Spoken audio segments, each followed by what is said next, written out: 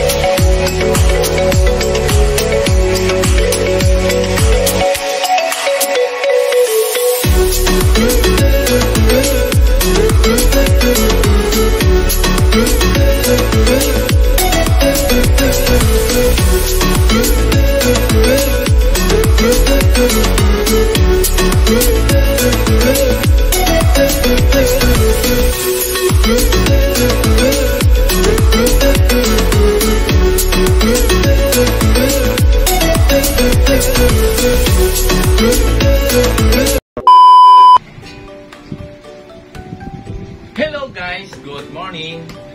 Good morning, good morning. Welcome back again. To be continue na to guys. Kahapon, ito na po yung cactus namin guys na namumulaklak. Ka. Ito po yung guys pag ano guys, pag anong tawag dito pag hindi siya masyadong tatagal yung bulaklak niya guys kasi isang gabi at isang araw lang siya naka nabubuhay yung bulaklak niya. Pag mamayang hapon guys, ito po ay ano na guys, mamamatay na po to siya. Matitira na lang yung ano niya, cactus at saka mag-produce na po siya guys sa susunod o iwan ko ngayon diyan guys baka dalawang beses siya mamulaklak kasi may bulaklak na naman guys oh. Iwan ko kung ano kung kung continue ba siya guys magaganito ba siya kasi maliit pa siya. Kasi alam ko guys no noon noon sa experience ko isang taon lang siya mamumulaklak. At saka isang gabi isang araw lang siya mabubuhay yung bulaklak niya. Yan kita nyo guys yung petals niya nakaano na.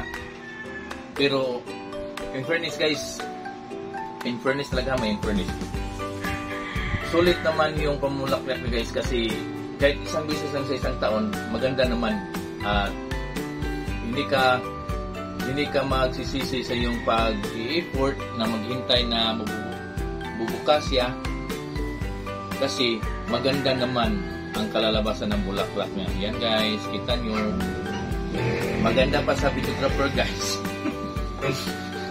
Yan guys. At saka, shout out nga pala sa mga sa YouTube ng asawa ko dyan. And God bless po sa ating lahat and maraming maraming salamat po sa inyong walang sawang pagsuporta sa aming munting channel na Randy and Juan Vlog. Please, kahit sawa na kayo, mag-like na rin and share nyo na and sa please subscribe and hit nyo na ang notification bell para updated kayo sa aming mga video palagi. Yan po guys, abangan nyo po lagi yung um, update namin mga video. Huwag kayong masasawa. God bless po sa ating lahat. Bye!